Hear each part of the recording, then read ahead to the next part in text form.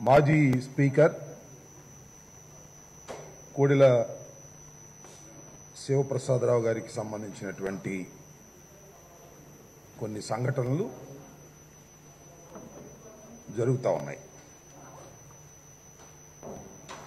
నిన్న రాత్రి కోడెల శివప్రసాద్ గారి సత్తెనపల్లి క్యాంపు కార్యాలయంలో దొంగలు పడ్డారని ఏదో ఒకటి రెండు కంప్యూటర్లను దొంగలు తీసుకువెళ్ళారని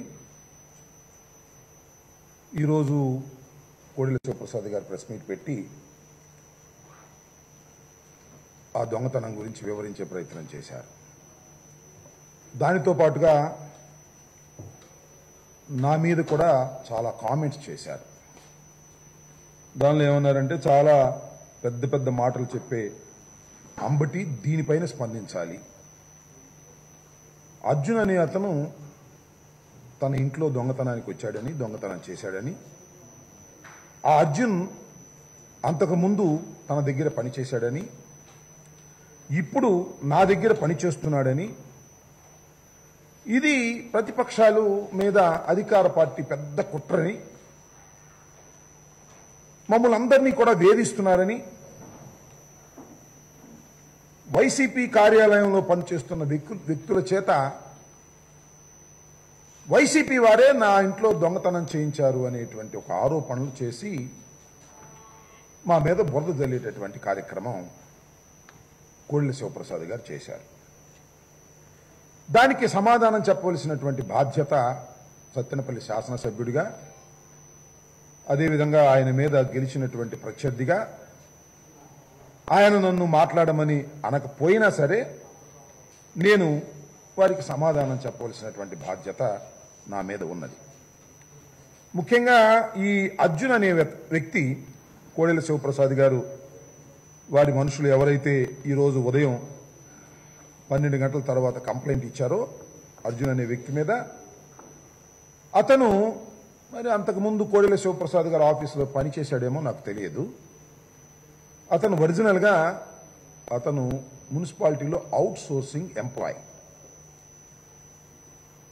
కొన్ని సందర్భాల్లో మున్సిపల్ పని మీద కానివ్వండి అదేవిధంగా ఒకటి రెండు సందర్భాల్లో ఆరోగ్యశ్రీకి అలా విధంగా చీఫ్ మినిస్టర్ రిలీఫ్ ఫండ్కి సంబంధించినటువంటి లెటర్లు కొట్టడంలో అతను ఎక్స్పర్ట్ అనే ఉద్దేశంతో అతను ఒకటి రెండు సార్లు మా ఆఫీస్కి వచ్చి మా ఆఫీసులో ఉన్నటువంటి మా పిఏకి అవి నేర్పినటువంటి సందర్భం ఉన్నదని నేను తెలుసుకున్నాను. ఇంతవరకు అతను అయితే నేను ఎప్పుడు చూడలేదు. మా ఆఫీసులో పనిచేసే ఎంప్లాయ్ అతను కానే కాదు. మున్సిపాలిటీలో పనిచేసే అవుట్ సోర్సింగ్ ఎంప్లాయ్ అతను. బహుశా మరి కోడెల శివప్రసాద్ గారి దగ్గర ఏమన్నా పనిచేశారేమో నాకు తెలియదు. దీనికి ఆయన పేరు ఆకురాతి అర్జున్ రావు. అర్జున్ అని పిలుస్తారు. దీనికి నేనే అతన్ని దొంగతనానికి పంపించానని ఆయన ఇంట్లో దోపిడీకి నేనే కుట్ర చేశానని చాలా పెద్ద పెద్ద మాటలు మాట్లాడుతున్నారు. నాకు అర్థం కాదు ఏంటంటే నాకేం కారం పట్టింది చెప్పండి? ఆయన ఇంట్లోకి వెళ్ళి దొంగతనం చేయించి పెద్ద కుట్ర చేసి చివరికి ఏం చేశానంటే రెండు కంప్యూటర్లు ఎత్తుకుపోయానంట. రెండు కంప్యూటర్లు ఎత్తుకుపోవడానికి కోడెల శివప్రసాద్ గారి ఇంట్లో కన్నం వేయడానికి నేను నా మనుషుల్ని పంపించి కుట్ర చేసి రెండు కంప్యూటర్లు ఎత్తుకుపోయి నేను ఏం పాగుతున్నాను నాకేమో కర్మ పట్టిందా? నాకేమన్నా కోడెల శివప్రసాద్ గారి లాగా దొంగతనం చేయాల్సిన పని? ఆరోపణ చేసేటప్పుడు అబద్ధం ఆడేటప్పుడు కాస్త అతికేటట్టుగా అబద్ధం ఆడితే కొంతవరకు మీడియాను కానీ లేదా ప్రజలు కానీ నమ్ముతారు. మా మీద బురదలడం కోసం తాను చేసినటువంటి తప్పిదాలను కప్పిపుచ్చుకోవడం కోసం అనేక తప్పులు చేసుకుంటూ పోతున్నాడు పాపం కోడెల శివప్రసాద్ గారు. నిజంగా నేను నిన్న స్కోలింగ్స్ చూసా కోడెల శివప్రసాద్ గారి ఇంట్లో దొంగతనం. అది కాదు చెప్పాల్సింది. గజ దొంగ ఇంట్లో దొంగతనం అని చెప్పాలి. పెద్ద గజ దొంగ ఎవరయ్యా అంటే ఈ మధ్యకాలంలో సాక్షాత్తు మాజీ స్పీకర్ కోడెల శివప్రసాద్ గారు పెద్ద గజ దొంగ. గజ దొంగ ఇంట్లో దొంగలు పడ్డారు. రెండు కంప్యూటర్లు ఎత్తుకుపోయారు.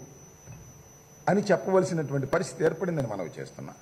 నేను ఈ సందర్భంగా చెప్పదలుచుకున్నది ఏమిటంటే ఈ కథ అంతా కూడా నేను మీకు వివరంగా వివరిస్తా పత్రికలకి మీడియాకి ఇప్పుడు జరుగుతున్న పరిణామ క్రమాలన్నీ కూడా వివరిస్తే మీకు చాలా క్లియర్గా అర్థమవుతుంది. ఏంటండి? వీడియో నచ్చిందా? అయితే ఓ లైక్ వేసుకోండి. లేదంటే ఓ కామెంట్ చేయండి. ఎప్పటికప్పుడు మా వీడియోస్ చూడాలంటే సబ్స్క్రైబ్ చేసుకోండి.